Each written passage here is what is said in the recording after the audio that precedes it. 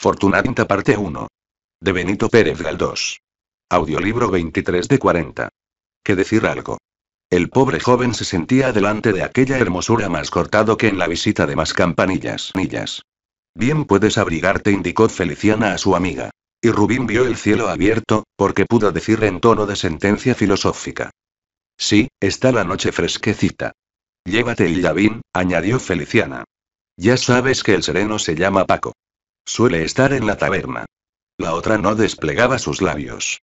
Parecía que estaba de muy mal humor. Maximiliano contemplaba como un bobo aquellos ojos, aquel entrecejo incomparable y aquella nariz perfecta, y habría dado algo de mucho precio porque ella se hubiese dignado mirarle de otra manera que como se mira a los bichos raros. Qué lástima que no sea honrada. Pensaba. Y quién sabe si lo será, quiero decir que conserve la honradez del alma en medio de... Estaba muy fija en él la idea aquella de las dos honradeces, en algunos casos armonizadas, en otros no. Habló Fortunata poco y vulgar. Todo lo que dijo fue de lo menos digno de pasar a la historia. Que hacía mucho frío, que se le había descosido un mitón, que aquel llavín parecía la maza de Fraga, que al volver a casa entraría en la botica a comprar unas pastillas para la tos. Maximiliano estaba encantado, y no atreviéndose a desplegar los labios, daba su asentimiento con una sonrisa, sin quitar los extáticos ojos de aquel semblante que le parecía angelical. Y cuanto ella dijo lo oyó como si fuera una sarta de conceptos ingeniosísimos. Si es un ángel. No ha dicho ni una palabra malsonante, y qué metal de voz. No he oído en mi vida música tan grata, como será decir esta mujer un te quiero, diciéndolo con verdad y con alma. Esta idea produjo en la mente de Rubín sacudidas que le duraron mediano rato. Le corrió un frío por el espinazo y vínole cierto picor a la nariz como cuando se ha bebido gaseosa. Cansado de hacer solitarios, Olmedo se puso a contar cuentos indecentes, lo que a Maximiliano le pareció muy mal. Otras noches había oído anécdotas parecidas y se había reído. Pero aquella noche se ponía de todos colores deseando que a su condenado amigo se le secara la boca. Qué desvergüenza contar aquellas marranadas delante de personas, de personas decentes, sí señor. Estaba Rubín tan desconcertado como si las dos mujeres allí presentes fuesen remilgadas damas o alumnas de un colegio monjil. Pero su timidez le impedía mandar callar a Olmedo. Fortunata no se reía tampoco de aquellos estúpidos chistes. Pero más bien parecía indiferente que indignada de oírlos. Estaba distraída pensando en sus cosas. ¿Qué cosas serían aquellas? Diera Maximiliano por saberlas, su hucha con todo lo que contenía. Al acordarse de su tesoro tuvo otra sacudida, y se removió en el asiento lastimándose mucho con el duro contacto de aquellos mal llamados muebles. Pero el cuento más salado narices. Dijo Olmedo, es el del panadero. Lo sabes tú. Cuando aquel obispo fue a la visita pastoral y se acostó en la cama del cura, veréis. Fortunata se levantó para marcharse. Ocurrióle a Maximiliano salir detrás de ella para ver dónde iba. Era la manera especial suya de hacer la corte. En su espíritu soñador existía la vaga creencia de que aquellos seguimientos entrañaban una comunicación misteriosa, quizás magnética. Seguir, mirando de lejos, era un lenguaje o telegrafía sui generis, y la persona seguida, aunque no volviese la vista atrás, debía de conocer en sí los efectos del fluido de atracción. Salió Fortunata despidiéndose muy fríamente, y a los dos minutos se despidió también Maximiliano con ánimo de alcanzarla todavía en el portal. Pero aquel condenado Ulmus Silvestris le entretuvo a la fuerza, cogiéndole una mano y apretándosela con bárbaros alardes de vigor muscular, para reírse con los chillidos de dolor que daba el pobre Rubinius Vulgaris. ¡Qué asno eres! exclamaba este, retirando al fin su mano magullada, con los dedos pegados unos a otros. Vaya unas gracias. Esto y contar porquerías es tu fuerte. Mejor te pusieras a estudiar. Niño del mérito, papos castos, ¿quieres hacer el favor de tocarme las narices? No te hagas ordinario, dijo Rubín con bondad. Si no lo eres, si aunque quieras parecerlo no lo puedes conseguir. Esto lastimó el amor propio de Olmedo más que si su amigo le hubiera llenado de insultos, porque todo lo llevaba con paciencia menos que se le rebajase un pelo de la graduación de perdiz que se había dado. Le supo tan mal la indulgencia de Rubín, que salió tras él hasta la puerta, diciéndole entre otras tonterías. Valiente hipócrita estás tú, narices. Estos silfidones, a lo mejor la pegan. Maximiliano bajó la escalera como la baja uno cuando tiene ocho años y se le ha caído el juguete de la ventana al patio. Llegó sin aliento al portal, y allí dudó si debía tomar a la derecha o a la izquierda de la calle.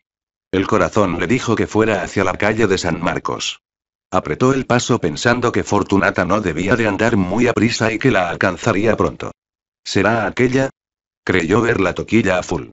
Pero al acercarse notó que no era la nube de su cielo. Cuando veía una mujer que pudiera ser ella, acortaba el paso por no aproximarse demasiado, pues acercándose mucho no eran tan misteriosos los encantos del seguimiento. Anduvo calles y más calles, retrocedió, dio vueltas a esta y la otra manzana, y la dama nocturna no parecía. Mayor desconsuelo no sintió en su vida. Si la encontrara era capaz hasta de hablarle y decirle algún amoroso atrevimiento. Se agitó tanto en aquel paseo vagabundo, que a las once ya no se podía tener en pie, y se arrimaba a las paredes para descansar un rato. Irse a su casa sin encontrarla y darse un buen trote con ella, a distancia de treinta pasos, dábale mucha tristeza. Pero al fin se hizo tan tarde y estaba tan fatigado, que no tuvo más remedio que coger el tranvía de Chamberí y retirarse. Llegó y se acostó, deseando apagar la luz para pensar sobre la almohada. Su espíritu estaba abatidísimo. Asaltáronle pensamientos tristes, y sintió ganas de llorar. Apenas durmió aquella noche, y por la mañana hizo propósito de ir al hotel de Feliciana en cuanto saliera de clase. Hízolo como lo pensó, y aquel día pudo vencer un poco su timidez. Feliciana le ayudaba, estimulándole con maña, y así logró Rubín decir a la otra algunas cosas que por disimulo de sus sentimientos quiso que fueran maliciosas. Tardecillo vino usted anoche. A las once no había vuelto usted todavía. Y por este estilo otras frases vulgares que Fortunata oía con indiferencia y que contestaba de un modo desdeñoso. Maximiliano reservaba las purezas de su alma para ocasión más oportuna, y con feliz instinto había determinado iniciarse como uno de tantos, como un cualquiera que no quería más que divertirse un rato. Dejóle solos la tunanta de Feliciana, y Rubín se acobardó al principio. Pero de repente se rehizo. No era ya el mismo hombre. La fe que llenaba su alma, aquella pasión nacida en la inocencia y que se desarrolló en una noche como árbol milagroso que surge de la tierra cargado de fruto, le removía y le transfiguraba. Hasta la maldita timidez quedaba reducida a un fenómeno puramente externo. Miró sin pestañear a Fortunata, y cogiéndole una mano, le dijo con voz temblorosa. Si usted me quiere querer, yo, la querré más que a mi vida. Fortunata le miró también a él, sorprendida. Le parecía imposible que el bicho raro se expresase así, vio en sus ojos una lealtad y una honradez que la dejaron pasmada. Después reflexionó un instante, tratando de apoyarse en un juicio pesimista. Se habían burlado tanto de ella, que lo que estaba viendo no podía ser sino una nueva burla. Aquel era, sin duda, más pillo y más embustero que los demás. Consecuencia de tales ideas fue la sonora carcajada que soltó la mujer aquella ante la faz compungida de un hombre que era todo espíritu. Pero él no se desconcertó, y la circunstancia de verse escuchado con atención, dábale un valor desconocido. Ánimo. Si usted me quiere, yo la adoraré, yo la idolatraré a usted. Revelaba la tal mujer un gran escepticismo, y lo que hacía la muy pícara era tomar a risa la pasión del joven. ¿Y si lo probara? Dijo Maximiliano con seriedad que le dio, parece mentira. Un tornasol de hermosura. Si le probara a usted de un modo que no dejase lugar a dudas. ¿Qué? Que la idolatraré. No, que ya la estoy idolatrando. Tai gracia. Idolatrando. Ja, ja.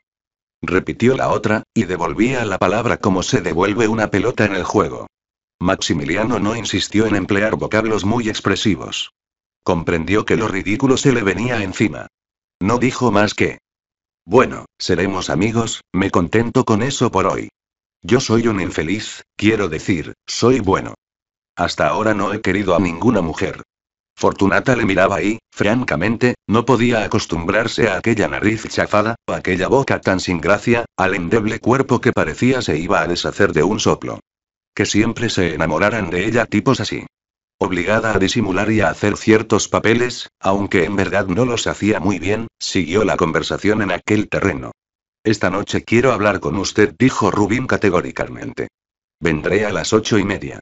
¿Me da usted palabra de no salir, o de esperarme para salir conmigo? Díole ella la palabra que con tanta necesidad le pedía el joven, y así concluyó la entrevista. Rubín se fue corriendo a su casa. ¡Qué chico! Si parecía otro. Él mismo notaba que algo se había abierto dentro de sí, como arca sellada que se rompe, soltando un mundo de cosas, antes comprimidas y ahogadas. Era la crisis, que en otros es larga o poco acentuada, y allí fue violenta y explosiva. Si hasta le parecía que tenía talento. Como que aquella tarde se le ocurrieron pensamientos magníficos y juicios de una originalidad sorprendente. Había formado de sí mismo un concepto poco favorable como hombre de inteligencia.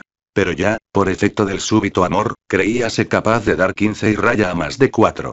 La modestia cedió el puesto a un cierto orgullo que tomaba posesión de su alma, pero ¿y si no me quiere? Pensaba desanimándose y cayendo a tierra con las alas rotas. Es que me tendrá que querer, no es el primer caso, cuando me conozca. Al mismo tiempo la apatía y la pereza quedaban vencidas, andábanle por dentro comezones y pruritos nuevos, un deseo de hacer algo, y de probar su voluntad en actos grandes y difíciles, iba por la calle sin ver a nadie, tropezando con los transeúntes, y a poco se estrella contra un árbol del paseo de Luchana. Al entrar en la calle de Raimundo Lulio vio a su tía en el balcón tomando el sol. Verla y sentir un miedo muy grande, pero muy grande, fue todo uno.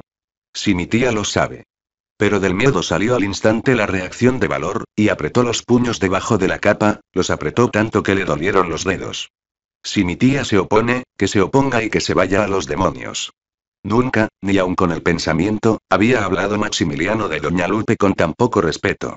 Pero los antiguos moldes estaban rotos. Todo el mundo y toda la existencia anteriores a aquel estado novísimo se hundían o se disipaban como las tinieblas al salir el sol.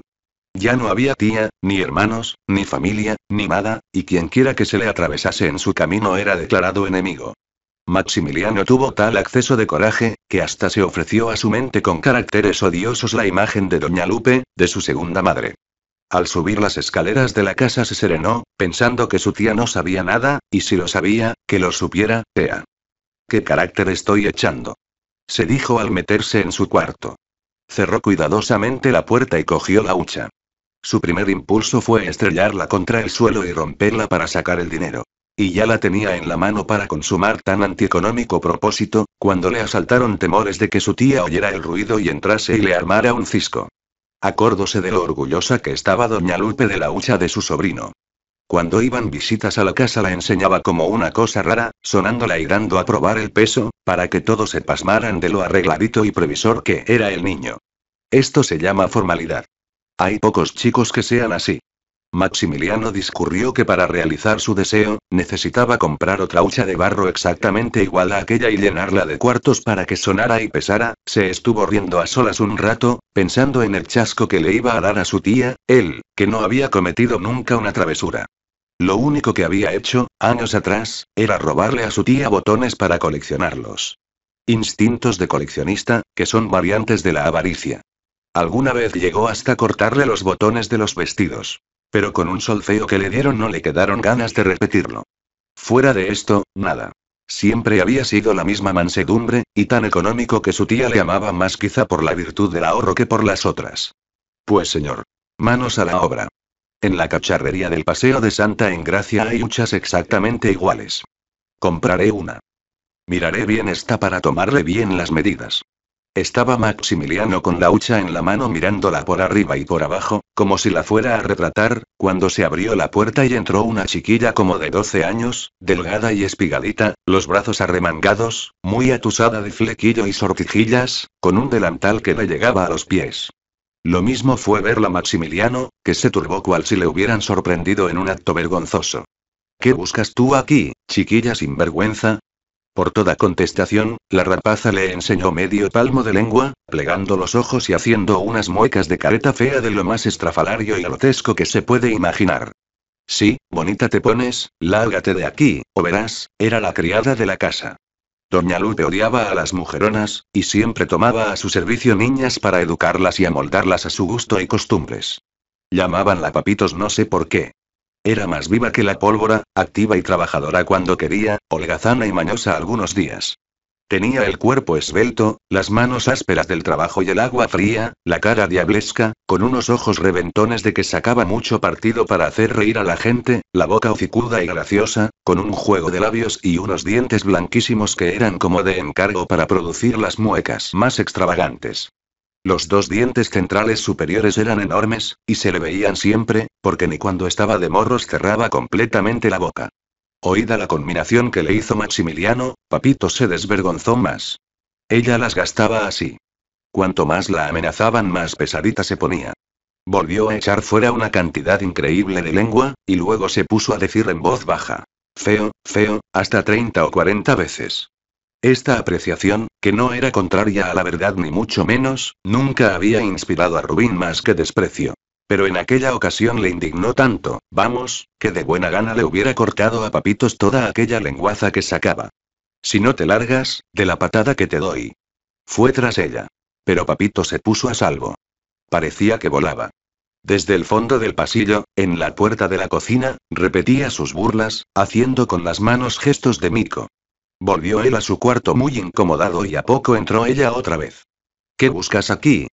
Vengo a por la lámpara para aviarla, el motivo de haber dicho esto la chiquilla con relativo juicio y serenidad, fue que se oyeron los pasos de Doña Lupe, y su voz temerosa. Mira, papitos, que voy allá. Tía, venga usted, está de jarana, acusón. Le dijo por lo bajo la chicuela al coger la lámpara, Feón. La culpa la tienes tú, añadió severamente Doña Lupe, en la puerta, porque te pones a jugar con ella, le ríes las gracias, y ya ves. Cuando quieres que te respete, no puede ser. Es muy mal criada. La tía y el sobrino hablaron un instante. ¿También vendrás tarde esta noche? Mira que las noches están muy frías. Estas heladas son crueles. Tú no estás para valentías. No, si no siento nada. Nunca he estado mejor, dijo Rubín, sintiendo que la timidez le ganaba otra vez. No hagamos simplezas, hace un frío horrible. Qué año tan malo. ¿Creerás que anoche no pude entrar en calor hasta la madrugada? Y eso que me eché encima cuatro mantas. ¡Qué atrocidad! Como que estamos entre las cátedras de Roma y Antioquía, que es, según decía mi Jauregui, el peor tiempo de Madrid. ¿Va usted esta noche a casa de doña Silvia? Preguntóle Rubín. Eso pienso. Si tú sales me dejarás allá, y luego irás a buscarme a las once en punto. Esto contrariaba a Maximiliano, porque le pasaba el tiempo. Pero no dijo nada. ¿Y esta tarde, sale usted? Preguntó luego deseando que su tía saliese antes de comer, para verificar, mientras ella estuviese fuera, la sustitución de las huchas. Puede que me llegue un ratito a casa de Paca Morejón. Yo la acompañaré a usted, tengo que ir a ver a Narciso para que me preste unos apuntes. La dejaré a usted en la calle de La Habana. Doña Lupe fue a la cocina y le armó una gran chillería a Papitos porque había dejado quemar el principio. Pero la chica estaba muy acostumbrada a todo, y se quedaba tan fresca. Como que acabadita de oírse llamar con las denominaciones más injuriosas y de recibir un pellizco que le atenazaba la carne, poníase detrás de su ama a hacer visajes y a sacar la lengua, mientras se rascaba el brazo dolorido. Si creerás tú que no te estoy viendo, bribona decía doña Lupe sin volverse, entre risueña y enojada. Y no se podía pasar sin ella. Necesitaba tener una criatura a quien reprender y enseñar por los procedimientos suyos. Púsose la mantilla doña Lupe, y tía y sobrino salieron. La primera se quedó en la calle de Arango, y el segundo se fue a comprar la hucha y tornó a su casa. Había llegado la ocasión de consumar el atentado, y el que durante la premeditación se mostraba tan valeroso, cuando se aproximaba el instante crítico sentía vivísima inquietud. Empezó por asegurarse de la curiosidad de Papitos, echando la llave a la puerta después de encender la luz. Pero como asegurarse de su propia conciencia que se le alborotaba, pintándole la falta proyectada como nefando delito. Comparó las dos huchas, observando con satisfacción que eran exactamente iguales en volumen y en el color del barro. No era posible que nadie adviniese la sustitución. Manos a la obra. Lo primero era romper la primitiva para coger el oro y la plata, pasando a la nueva la calderilla, con más de dos pesetas en perros que al objeto había cambiado en la tienda de comestibles. Romper la olla sin hacer ruido era cosa imposible. Permaneció un rato sentado en una silla junto a la cama, con las dos huchas sobre esta, acariciando suavemente la que iba a ser víctima. Su mirada vagaba alrededor de la luz, cazando una idea. La luz iluminaba la mesilla cubierta de hule negro, sobre el cual estaban los libros de estudio, forrados con periódicos y muy bien ordenados por Doña Lupe. Dos o tres frascos de sustancias medicinales, el tintero y varios números de la correspondencia. La mirada del joven revoloteó por la estrecha cavidad del cuarto, como si siguiera las curvas del vuelo de una mosca, y fue de la mesa a la percha en que pendían aquellos moldes de sí mismo, su ropa, el chaqué que reproducía su cuerpo y los pantalones que eran sus propias piernas colgadas como para que se estiraran. Miró después la cómoda, el baúl y las botas que sobre él estaban, sus propios pies cortados, pero dispuestos a andar. Un movimiento de alegría y la animación de la cara indicaron que Maximiliano había atrapado la idea. Bien lo decía él. Con aquellas cosas se había vuelto de repente hombre de talento. Levantóse, y cogiendo una bota salió y fue a la cocina, donde estaba Papitos cantando. Chiquilla, ¿me das la mano del almírez? Esta bota tiene un clavo tremendo, pero tremendo, que me ha dejado cojo. Papitos cogió la mano del almírez, haciendo el ademán de machacar al señorito la cabeza. Vamos, niña, estate quieta. Mira que le cuento todo a la tía. Me encargó que tuviera cuidado contigo, y que si te movías de la cocina, te diera dos coscorrones. Papito se puso a picar la escarola, sin dejar de hacer visajes. Y yo le diré, replicó, yo le diré lo que hace, el muy trapisondista. Maximiliano se estremeció. Tonta, ¿qué es lo que yo hago?